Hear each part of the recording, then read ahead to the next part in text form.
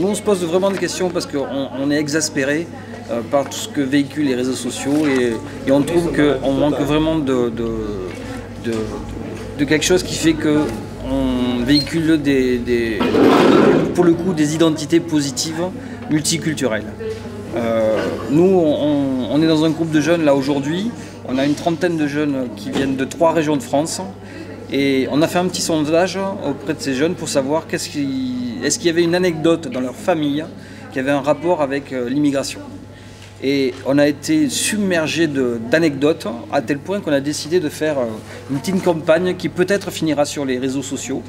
Euh, sur le fait qu'on est, est tous des, des, oiseaux migrateurs. et à chaque génération, dans chaque famille, il y a une anecdote qui fait qu'un petit geste d'un citoyen, positif ou négatif, a eu une influence positive ou négative, sur, sur des familles fragiles, parce qu'au moment où tu pars de ton pays, que tu arrives quelque part, tu es toujours en situation de fragilité.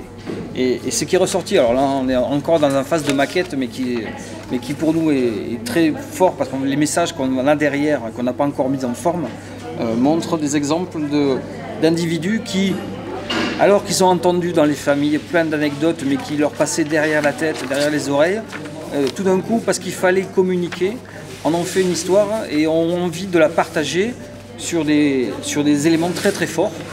Euh, et là, on a deux exemples. Donc, il y a un, descendant de, républicains espagnols et d'une réunionnaise euh, qui se sont retrouvés à, remonter en 1895. Donc, c'est vraiment à travers toute l'histoire de notre pays sur, des, sur des choses qui sont fabuleuses. Et ces enfants-là ont envie de retourner auprès de leur famille pour, dialoguer sur ce qu'est leur identité, euh, qui est forcément euh, multiculturelle. Et on trouve qu'on a vraiment envie aujourd'hui que dans les réseaux sociaux et partout, on ait des messages qui disent on est citoyen français, mais aussi européen et du monde, et que c'est pas parce que vous arrivez d'ailleurs qu'on ne peut pas vivre euh, quelque chose de génial ensemble.